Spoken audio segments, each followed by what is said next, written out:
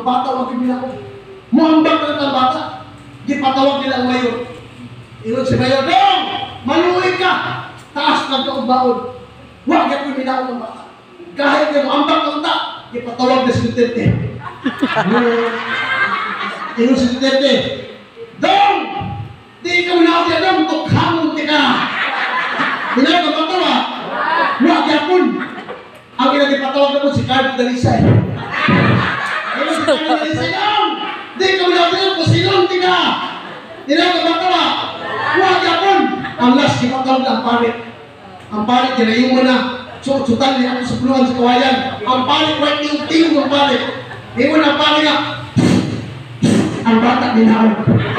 Hello! Di pa matanga. Di pa matanga sa TV Patrol, di-interview ang bata. Diingnan sa TV Patrol nga. Adong, Lalo mo Duterte ka kamalaw tukhagon ka. Kunya para wa tiyo tiyo ni ana naman minahaw ka. Ingon tong bata alangan. Ingon na si Padre ko di ko na kuminahaw kaya itong putyon. Minahaw ko. Kapras na ako ng diversyon. Ha? Hello! Hi! Walang siya ang gusto. Nyatong panahon na enjoy sa kinabuhi. Ganyan ako nasaktan ang kamaturan. O nato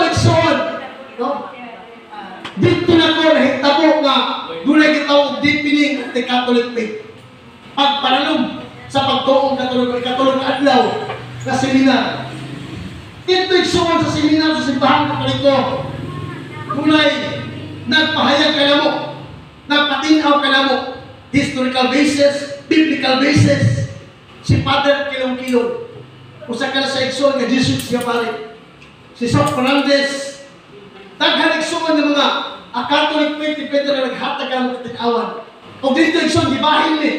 Dili ng lingkod mga pastura na nahimo ng Katoliko. Kusog na kanang mangulos. Kaya dali, naglingkod mga pastor o para para ng Katoliko dili ng lingkod.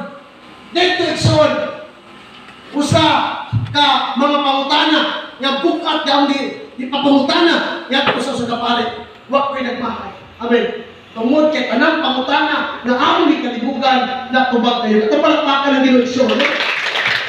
Walang kaingon, wala pangutana sa anak na di pwede tubangon sa amahan. Ito palakpakan ng direksyon.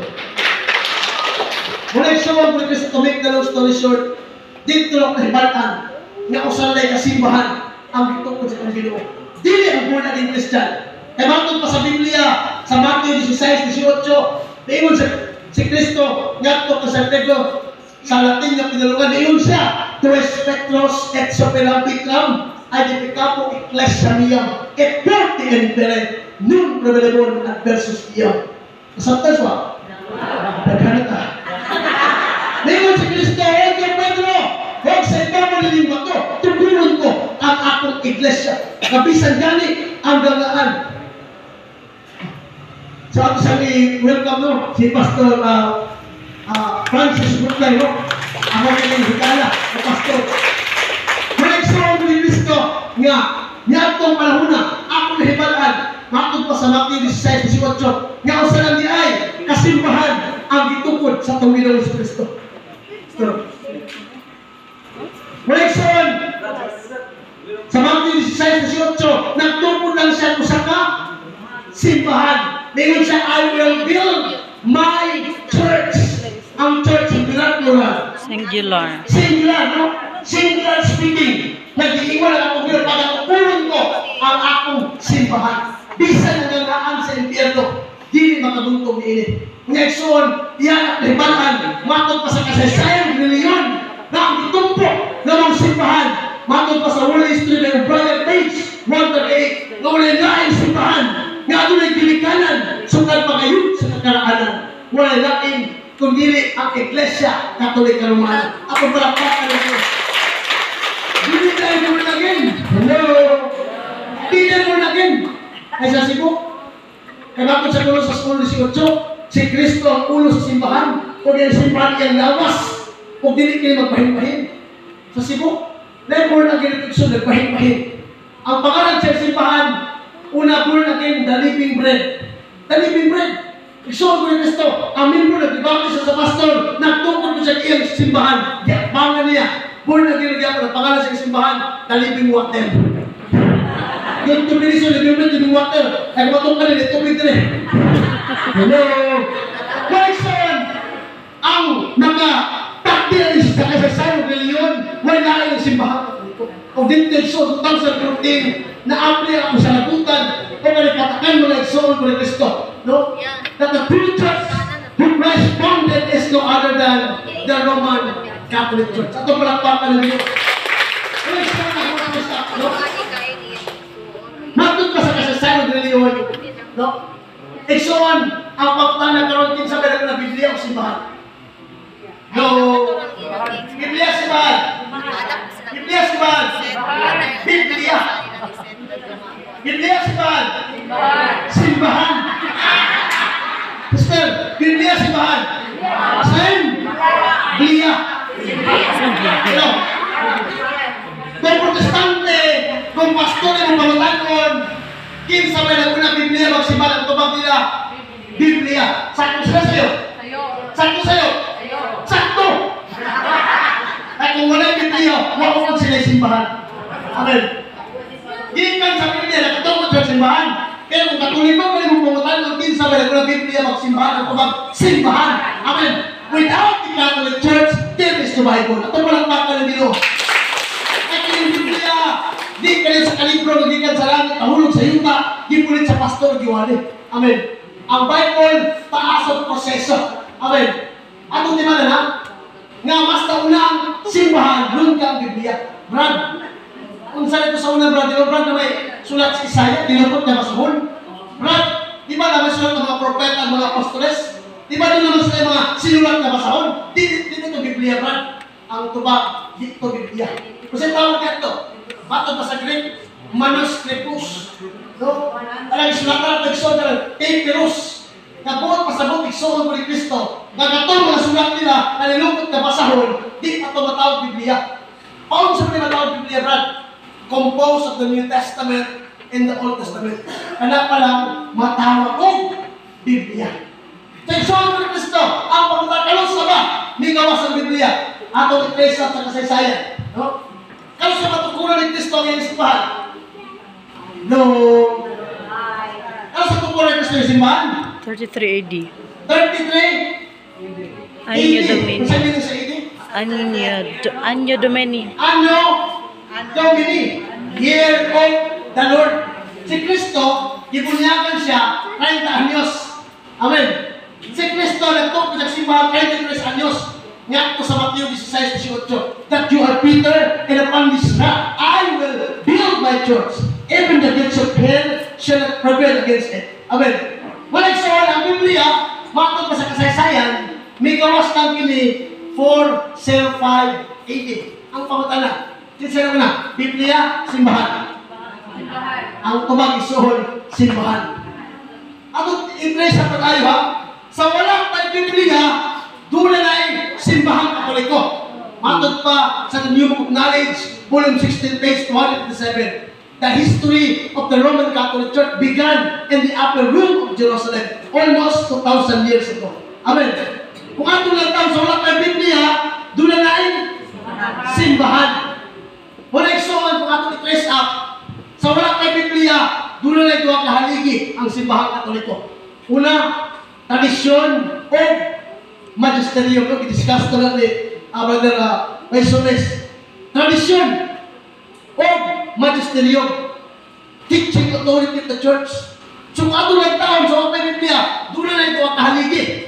Iksoon sa history sa 325 AD, sa wala kay Biblia, the first council of Nicaea. Pinakaunang konseho diha sa Nicaea. Amen.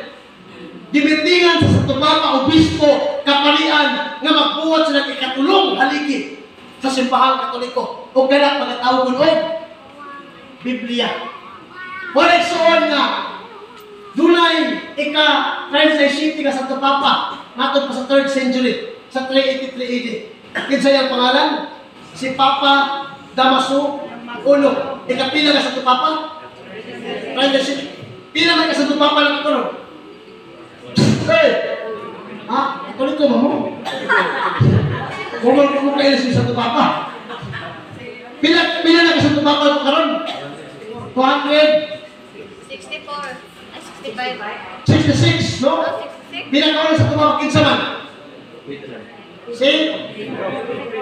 Sa ka Pedro, Pedro Paluho.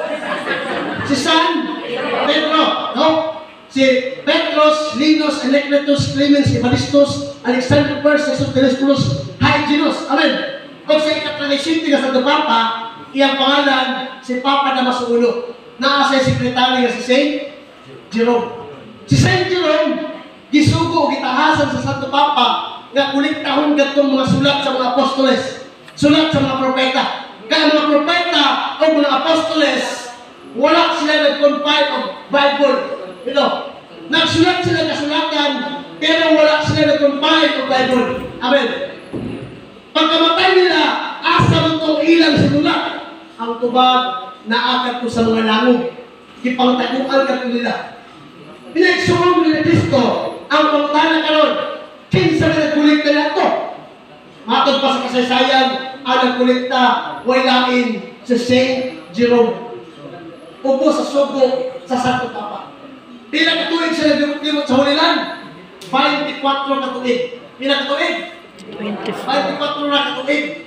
Sa 24 na katuig, paglimot-limot sa itaw ng hulilan, pagkulikta sa mga manuscripts na sinulat, pila yung nakulikta? 35? Pila? 35,000! Amen! 35,000 ka libro ang iya na kolekta ang pangutana sa tong Bible nga pila ka magsulod nga libro sa tong Bible. 73 books. Kanang 35,000 minus. 73 pila bilin ha ang 35,000 minus 73 pila bilin 2,927. di ba? British 7 Oh, 27, 17. Inana,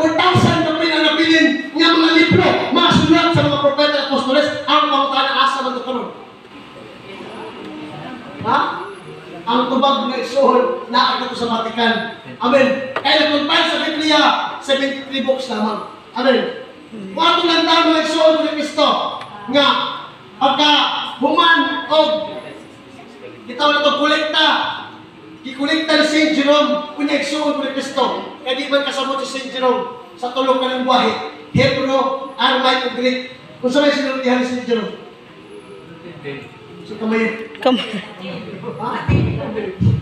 Latin. Amen. So, na-eskwela lang sa 15 katuig. Lima katuig sa Hebrew, lima katuig sa Aramaic, lima katuig sa Greek. Kung ka na pag-abot sa 405 PD, mao ka na ang pinakaunang migawas sa Biblia. Kanang Latina, Vulgata, Biblia. 73 books. Ito palakpakan ng ginagsuon. No? Ang pinakaunang gawas sa Biblia, 73 books. Dili, 66 books. Amen. Ang pangutana, nga naman sa protestante, sa 66 na lang na libro ang ilang Biblia. Atong lang taon diya sa history. Wato lang taon ha, ang nagbutag, ang nagkonban sa Biblia, katoliko. Ang nagbutag, kapitulo sa Biblia, matod pa sa ilang isaysay nila katoliko. Si Hugo San Caro Cardinal, sa simbahang katoliko. Ang nagbutag, versikulo, katoliko. Si Father Santos Maginos. No? Santos Maginos, sa Dominican priest. Una isuon, kinsa ng pangalan sa pulong Biblia, ang tubag sa St. John Chrysostom o sa kabishop sa Constantinople. Wato lang taon, ang Katoliko nag naningkamot na makamatun sa Biblia. Ang Katoliko nagkonpal sa Biblia, ang Katoliko nagbasta konpal sa Biblia, nagbutag kapitulo sa Biblia, ang Katoliko nagbutag versikulo sa Biblia, ang Katoliko nagpangalan sa pulong Biblia, ang Katoliko nagkamot sa Biblia, ang burlagin mo nagbasa. Di ba? Insulto kayo? Hello! Insulto kayo! Kita niyo nagkamot sa Biblia na makamatong na Biblia pero buwan natin yung nagbasa. Ano? Insulto kayo nga ang langgam, ang nature sa langgam, maglupad-lupad na. Ang isda, maglangilangon nila. Insulto kayo nga, ang langgam, dahil sa langgam, kung isda, tudyog lang mo Amen. Kita ng katoliko. Kita nag-iya sa Biblia, pero kita gituluan. Hello! Tapoy, kita mga katoliko sa pag mga pastor limot sa tupay malay sa buhat na to. Uy, mga pastor malakal ka. Hello. Nang malago man. Amen. Kita kami sa bilo malago ka. Pastor ka sa balay. Amen. strategy. Ang, ang pastor musunod siya wala ng Bible study. Kaya kami mga pastor sa lang ino namin, a blood pwede ba yung sanyo sa puno mo sa Ginoo? Huwag may dalag reliyon. Ang muna strategy na mo. No? Pastor na siyang balay. Well, siya ko rin Kristo. May iwan ni pastor nga, ah, mag-Bible study na sis. Eh, nangyayat din eh. Pastor, pastor, mag-Bible study na pastor. Eh, no din pastor nga. Pastor, before ka mag-Bible study, pastor, mag Rosario sa... Amen. At ang mga ka ng Ginoo. Eh, hindi mo, pastor, pastor. Mag-Rosario sa ta. Ikaw ang pinagulong misteryo. Wala ka ng pastor. At ang ka ng Ginoo. Hello. Kung di na lang mabalik siya pala malay. Ay, son! Matong pasawal ng light ng noon, ended ko somos a liquid adversus veritate. Sentro, veritate. Na wala kita napulat sa pagbakot sa kamaturan, kundi ang pagdapig sa kamaturan. Balik son, nga mau, nahimog 66 ang ang Biblia sa libro. Tungod kay ni Martin Luther. Ato lang taon, ha? 1517, mao kining pagawas ni Martin Luther. Kinsa si Martin Luther? O sa kapari sa simbahan katoliko, no? O sa kagong Agustinian priest.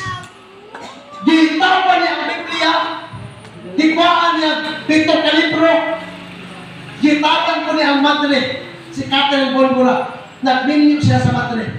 Ulit sa Kristo, wato ng taon, 1517 paubos sa 33 AD, wala born again, wala Iglesia ni Cristo, dati daan Mormons, Baptist, wala Protestante sa 1517 paubos sa 33 AD, sa pagtungkol ni Cristo, siya ang simbahan. Amen.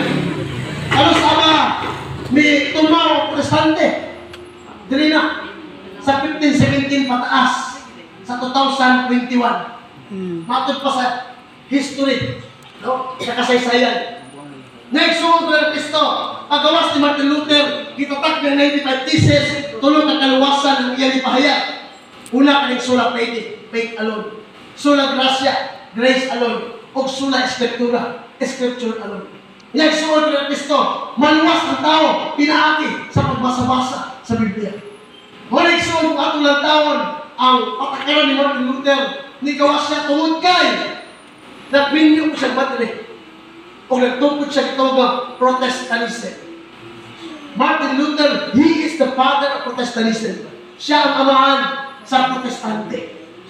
Ang Protestante, pag-alsa, batok sa Katoliko. O dito mga igsoon ko ni Kristo, tungod ka namin ng Biblia, ikwaan ni Martin Luther o pito kalibro, 66 naman, unya, na-revise naman sa gigawang dato na English version, kung sa mo, ang mga tao, doon na po'y self-interpretation. Wato milingon sa ikanong Petro 1.20, no private interpretation. Dito, natuto lang kasi kasi mga simbahan. Kaya nagbasa-basa naman ng mga tao, nakabasa naman. Ang sa tao nakabasa sa Jeremiah 6.16, kamo ang dating daan. Natuto ang dating daan. Ha? Ang sa tao po, nagbasa-basa. Sa Isaiah 43.12, ako si Jehovah kapag mga saksi. Natuto ng saksi ni Jehovah. Amen. Nagpasabasa ko lang sa tao. Yan, sa Marcos 8.29, si Jesus nagmilagro. Natuto si Mal Jesus sa miracle. Amen. Ano wala? Nagpasabasa ko lang sa tao. Matod pa sa Juan 3.5, unless a man be born again, he she cannot enter the kingdom of God. Tukod ang born again. Nagpasabasa ko lang sa tao. Matod pa sa buhat 11.26, Kristohanong panagtigong Christian fellowship. Nagtukod ko si Bahayang Christian fellowship. Usa pa, nagpasabasa ko sa tao na pasahan ng Roma 16-16, pagbatian ko sa kanila halik sa Iglesia ni Cristo. Natungkot ang simbahan ng Iglesia ni Cristo. Amen.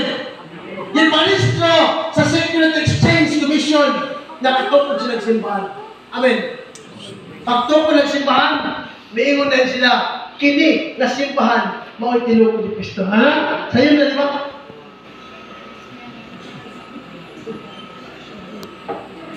Sa'yo na ang pag-angkon mga igsoon. Pero sa kaso, matod pa, nagiingon, all opinions are equals with the absence of evidence. Ang opinion, tabla na kung wala kapakita ng ebidensya. Amen. Sa kaso, mga mag-hearing kung igsoon ko ni Kristo, magtay ka kaso kung wala kapakita nga duwa o tulo ka saksi, di ka madaog mong igsoon. Amen. Muna igsoon ko ni Kristo, kita simbahan katoliko. No? Klaro tataw diya sa kasaysayan ng reliyon nakitukan nga wailain ang simbahan katoliko. Kining pentong simbahan nagitukod sa itong Ginoong Iso Kristo. Ato palakpak ko ng Ginoong. Kasi ito simple na magpasabot ka rin nato nga sila tinutod lamang tao niingon na bang buhat si City 24 dili magpuyo ang Dios sa simbahan tinukod na sa tao. Salmo 54 Panisiti ulo kawang lang kung ang tao magtungkod siya simbahan, gawasan ng Diyos magtungkod niya For example, Exor, atong karuha na, sa 33 ini, ito oh, po ni Kristo ang iyong simbahan. O ni-trace up diya sa simbahan katoliko. Amen. Ang Biblia pero sa Bigawas, 4th century. Ang protestante si Martin Luther pero sa Bigawas, 1517. Sa 1517 paubos, walay born again, Iglesia ni Cristo, any kind of Protestantism or sect, no? Walay nakabutang nakatali diya sa paubos sa 1517. Kundi simbahan katoliko. Ang pangutala karon, 1517 pataas sa 2021, ato i-trace up pa. For example, kaning gitawag nato nga saksi ni Jehovah. Ilang simbahan ito po 18th century. 1872. Ano sa tungkol ng simbahan?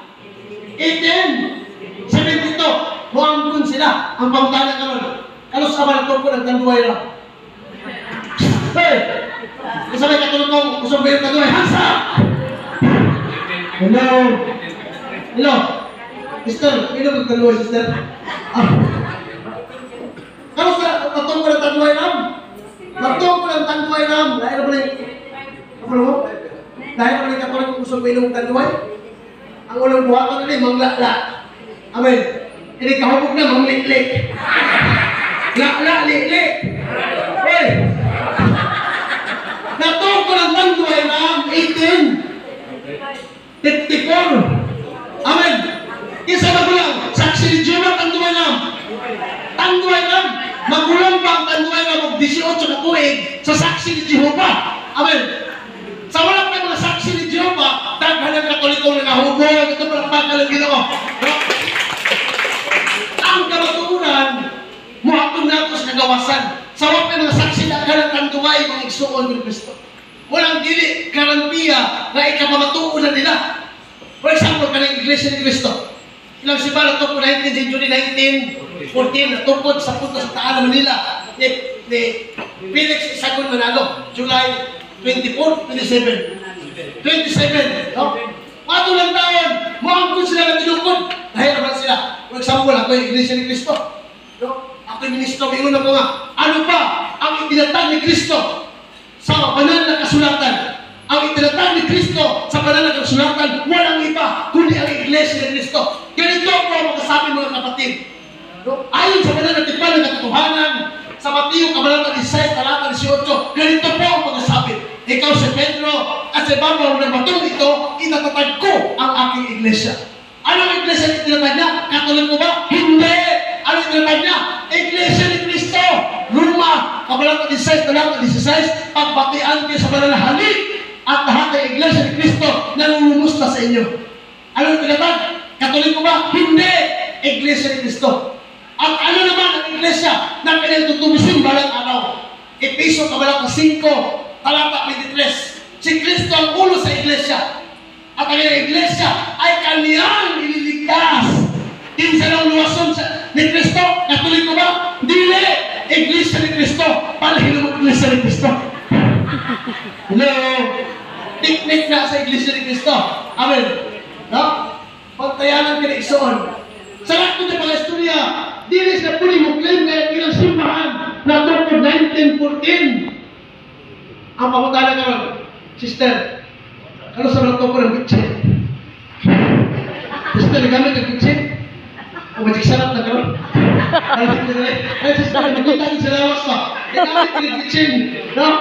Sister, ano sa mga tungkol ng bitchin? Na, mahilo. Alam mo, alam mo luto mo, basaon niya sa mahilo mo, na. No? Ah, sister, ano sa tungkol ng bitchin? Ang bitchin, natukod 19 o 9. Amen. Kalau saan ko para reaching? 1909. Kalau saan ko para iglesia ni Cristo? 1940 kisa na ko lang. Reaching iglesia ni Cristo. Reaching. Sa mga may iglesia ni Cristo, daga na reaching na mag-amang sa kawak to palakpak ka ng direksyon.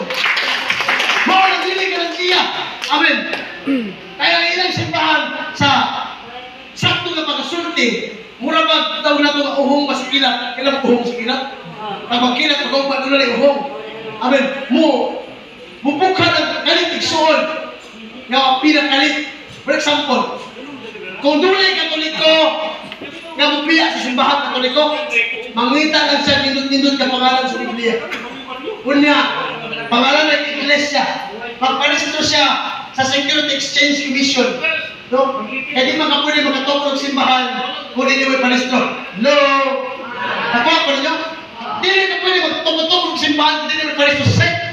Tungod kay, dakpon nga sa gobyerno. Wala isuong pero Kristo. Sa dakpon nga pag-istorya, born again church, kung sa may church, Baptist church, titulado, rehistrado, nagbayad at buhay sa gobyerno. Amen. Pero ako makutana, yan mo si Baha Katoliko, huwag mo ng pwede buwis. Sa may tumatang sister. Tungod kay, dili tao ang founder, kundi Diyos na nagpakatao. Ito palagpakan ng ginagsoon. Mamitaw ka rin, mga pastor na target katoliko na dyan. Amen. Kaya kung ikaw, pag-convert ka sa katoliko, sa lahat ko dyan so ng Kristo, pabayro na nagbuwis nila. Amen. Mamitaw ang katoliko, gigukod pa kayo sa gobyerno. Awan pa, pagpipahon yun. Di pares ko kasi, di sa may gigukod sa gobyerno, ang kaabag. Ituon ang kaabag, hindi na kaabag. Ako rin pares ko, si Bahang katoliko. Kaya nagkaroon binro. Kasi tubag sa kaabag na. Di ko pasali ka, nagsugo na ko sa among pare. Ato mo sa pare. Pag abot sa pare, ingon mo pare na. Di ko pasali ka, ato mo ka bishop. Ang gobyerno na abot ng bishop ngayon. Bishop, ato ni ko si Bahang katoliko. Kaya nagkaroon binro. Kaya nagkaroon ba yung tax sa binro. Tubag ko si bishop na. Di ko pasali ka, ato sa kardinal. Abot sa kardinal. Si kardinal pa na, di ko pasali. Ato mo sa Papa. Naabot sila patikan igsuon ng Kristo. Kaya sa patikan ng igsuon ng Kristo, giingnan lang sa Papa nga, Paps! Paps! Di Papa nga, Paps! Ako na rin ipalisto ang simbahan katoliko. Kaya naghanap ko bimbro. Ito ba ito sa Papa na? Hindi ko pasalig anak eh. Huwag pa rin mong founder. Ako na yung founder, Paps! Nagbakasyon pa. Ang utangan ko gano'n nga. Nagbilin sa silang Paps. Kano sa siya mabalik o nagbilin. Asa na mabasa pa? Sa ikalawang Timoteo 4.1. Mubalik na kano siya sa sa mga mga mga tayo. Ang balik sa mga ano sa mga gulas. Ako malakpakan ang ginag sa No! Hi! Nagdala, nagpa- nagpampers sa buhok pa. Ano? Person! No? Sakit ang kamatulog. Kaya ito tutusan ko, hindi ko kanawat. Tungkol tinagtungo ko na ang born again Christian, maumsimbang tinok ni Kristo. Maligsoon, sakit, no? The truth hurts, but it can heal us. Sakit ang kamaturan, apan magkaayo, kinig ka na ko. Maligsoon ni Kristo, kinahanglan mo dawat ini. Tungkol kay, matod sa kasaysayan ng reliyon, o sa lang bugtong simbahan, ang giangkon sa atong ginoo. Wailain ang simbahan. Ito palakpakan ng ginoo siya. Kung diya, sa simbahan katoliko, diya igsuon ko ni Kristo. No? Naa niya ang mga sakramento maghatag ka ito kinabuhin mo na katapusan. Amen. Sacraments is an outward sacred sign of inward grace instituted by Christ in order to give supernatural life of our soul. Ang sakramento igsuon mga kapulong, sakra o mento. Kasi mo ito sa sakra.